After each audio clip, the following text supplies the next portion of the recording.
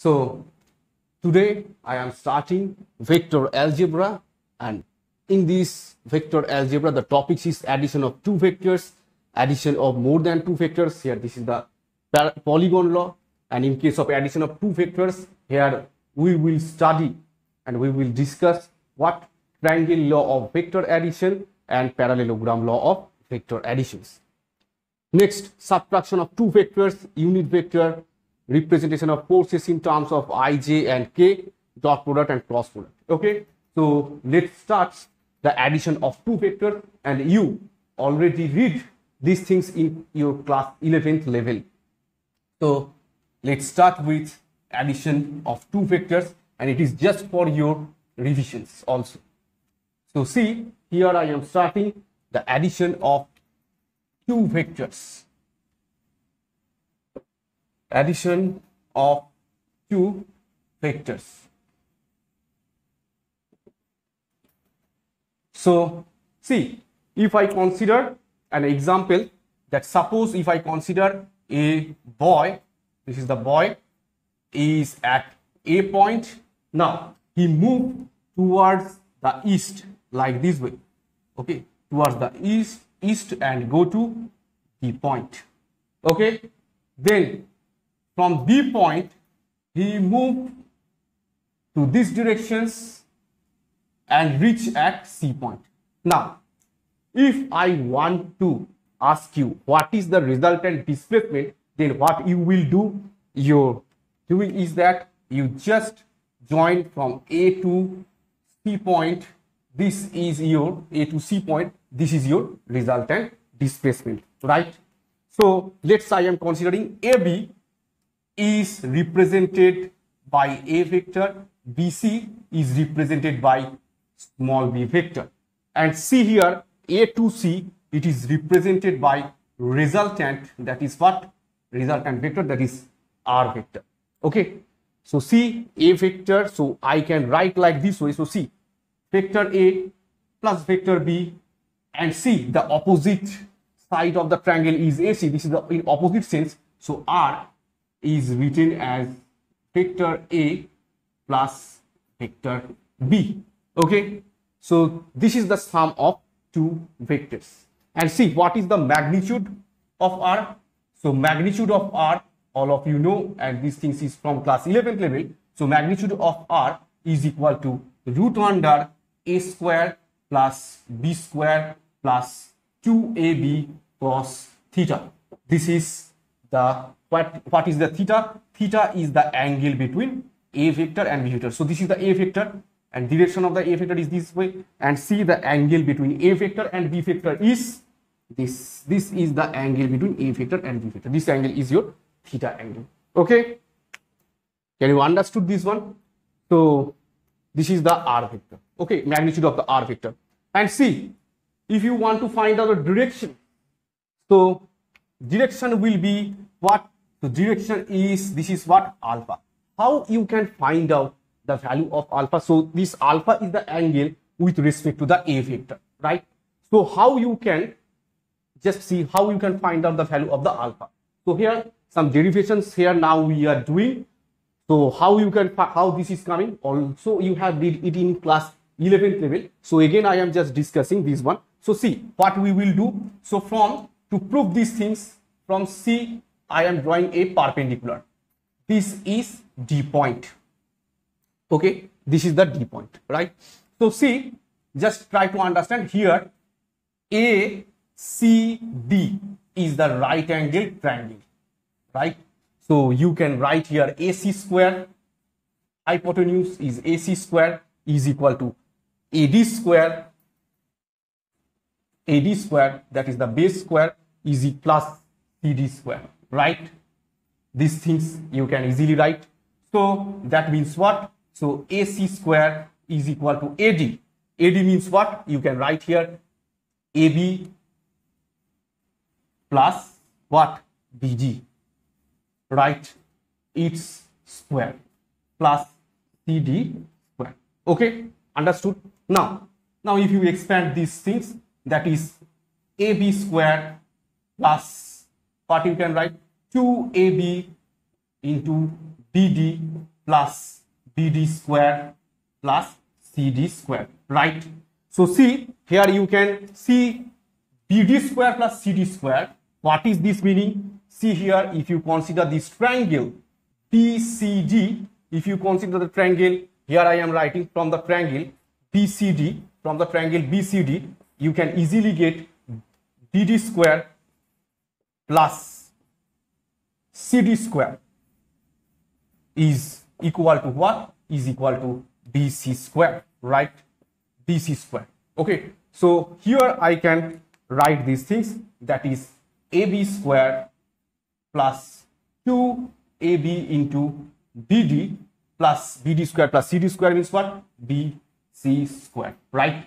So I can write like this way. So AC square is equal to AB square plus 2AB into B to BD plus BC square. And see here, AB means what?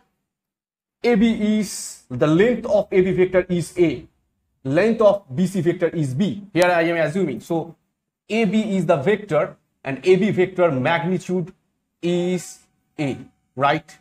Same way, BC vector's magnitude is what? B. So just keeping this mind. So AC square is equal to AB square plus 2AB into BD. But what is the value of this BD? BD value same way I consider the triangle BCD.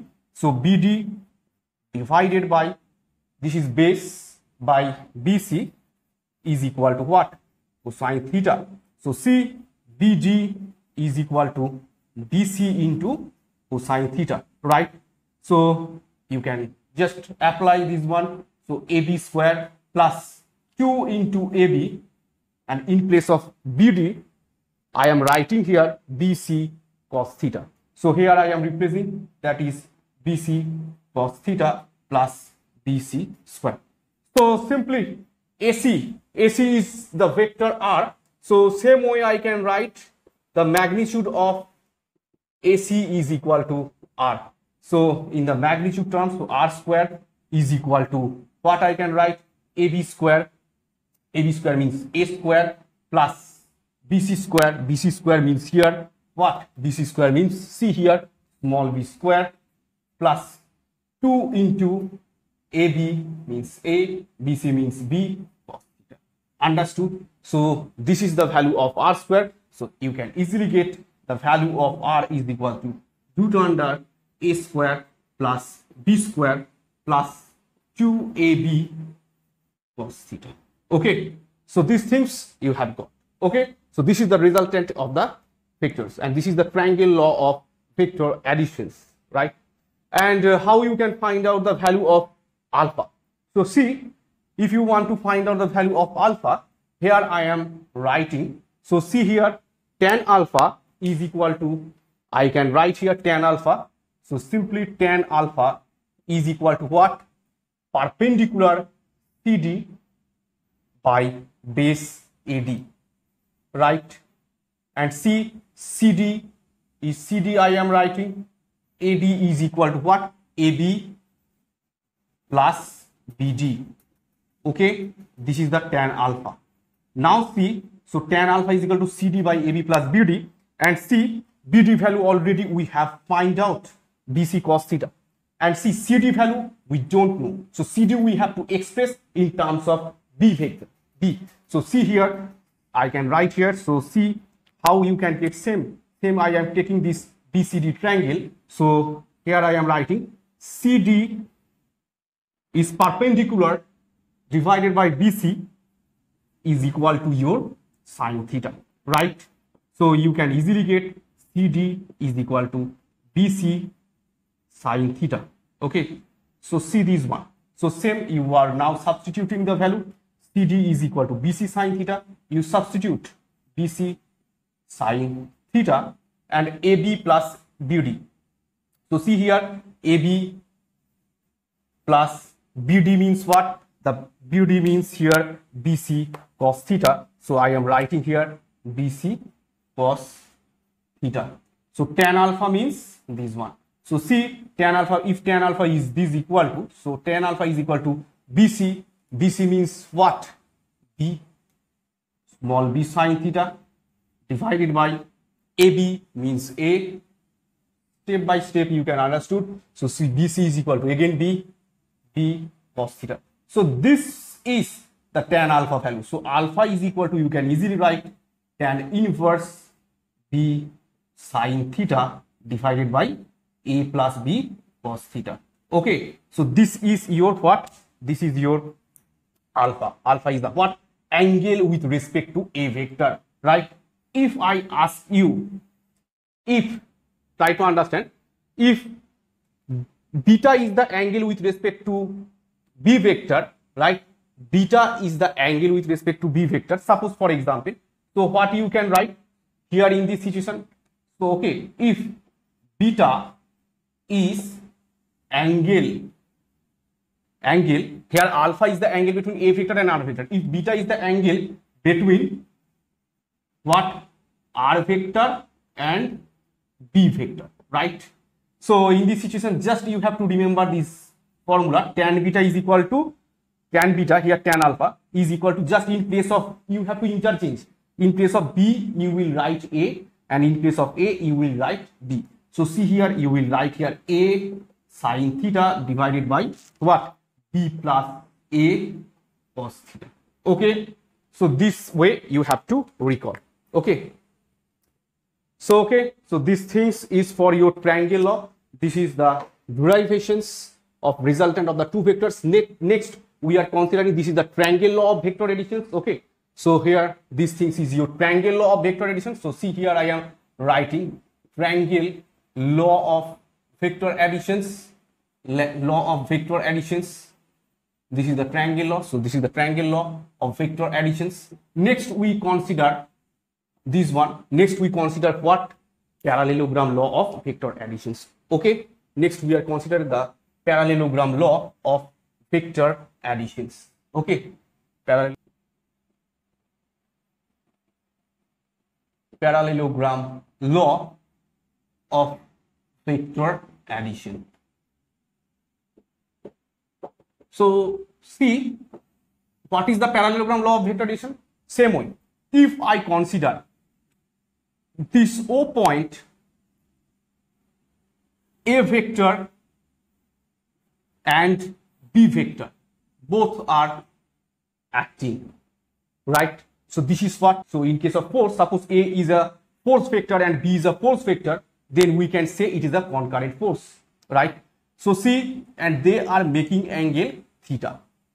And see, if I consider these two, I will see these two vector as an adjacent side of parallelogram. So see, if I consider these two vector as an adjacent side of the parallelogram, so see, this one is the vector. So parallelogram I am considering. So see this resultant vector represent which one the diagonal of the parallelogram represent the resultant vector. So R vector, this is the resultant of the two vectors. It is actually C, the diagonal of the parallelogram. So this is point is O, this point is OA, this point is B and this point is C. So same way, if this is the A vector, this is the B vector and C here, OB vector and AC vector, just see here, if I consider the triangle, if I consider the triangle OAC, OA is A vector and OB and parallelogram, this AC length and OB length are same. So I can write here AC vector is also equal to your B vector, right? And see here what I can write. A vector plus B vector, A plus B is equal to R, right? In case of triangle law also you can apply here triangle OAC is equal to A vector plus B vector is equal to R vector. Okay. So this is the parallelogram law and here same things you are getting the magnitude of R is equal to root under A square plus B square plus 2AB cos theta and same way if you want to find out the alpha alpha if you want to find out so alpha is equal to what so tan alpha same formula alpha is the angle making with respect to a vector. So formula is here b sine theta divided by a plus b theta. Understood? So this way, this is the parallelogram law and derivations is same like the triangle law. So this is the parallelogram law of vector addition and here we have adding two vectors. But if I want to add more than two vectors, then which law will be used? That is the polygon law. Okay. So here next law is your polygon law of vector addition and all next one is your polygon law of vector addition. Polygon law of vector. It is just like the triangle law. For example here, if I consider O point and at O point, suppose A vector, just see this is the A vector, B vector, here this is the C vector, and this one is the D vector. So, what is the resultant vector? I mean, suppose if I consider that at point O, A force, B force, C force, D force are acting. So, what is the resultant force at point O? So in this situation, you have to apply what? Polygon law of vector additions. So see what I am doing. So try to understand the concept. Just see, this is the A vector I am representing. So head of the A vector, from the head of the A vector, I will draw this B vector, right? So this B vector is this one. Okay, again, from the head of the B vector, I will draw the C vector, right? this way I will draw and same way from the head of the C vector I will draw the D vector. I will draw the D vector. So see here I will draw the D vector right? So resultant vector is what? Resultant vector is equal to what? Suppose for example here this is the A vector okay? So resultant vector here just I am drawing this diagram at point O. So suppose if I consider this point is your uh, a point, B point, C point, D point, E point. So your resultant vector will be in which directions? Resultant vector will be in these directions. So AE is the resultant vector and polygon's law say that what vector R is equal to vector A plus vector B plus vector C plus vector D. Okay, how it comes? It is very simple things. So here to prove this one, just see I am joining from A point to C point. I am joining from A point to D point, right? So see here. So see here triangle ABC. If I consider the triangle ABC, so try to understand here from the triangle ABC, the resultant vector is what? AC. AC is the resultant vector. So if AC is the resultant vector, so I can write here AC is equal to what? AB vector plus BC vector. It is very simple. AC, CAB plus BC and C. The AC vector is in the opposite sense. So AB vector is equal to A vector and BC vector is equal to your B vector. And same way, AC vector is equal to this one. And if I consider next triangle that is what triangle ACD ACD triangle so from the actually application of the polygon law parallelogram it will be very necessary if you want to solve the numerical problem okay so triangle ACD is equal to what triangle ACD is equal to AD is the vector AD vector is equal to what AC vector plus CD vector right why because AC vector plus CD vector is equal to AD vector. And see, AC is equal to what? A vector plus B vector, right? AC vector means, and CD vector means what? Vector C. So what you are getting? Vector A plus vector B plus vector C. Okay. Now, last triangle we are considering that is the triangle A, E, D from this triangle, we can write here, see, AD vector plus DE vector is equal to AE vector. So, here I am writing AE vector is equal to AD vector plus DE vector, right? So, AD vector means what? So, AD vector means C. Already you know from this previous case, so AD is equal to your A plus B plus C. You are writing here vector A plus vector B plus vector C plus DE vector means your vector D. So AE is equal to what? R vector. So R vector is equal to A vector plus B vector plus C vector plus D vector. Okay, so this is proof. This is the polygon law of vector addition. So it will be used if you want to add more than two vectors at that time you have to apply this polygon law. Okay,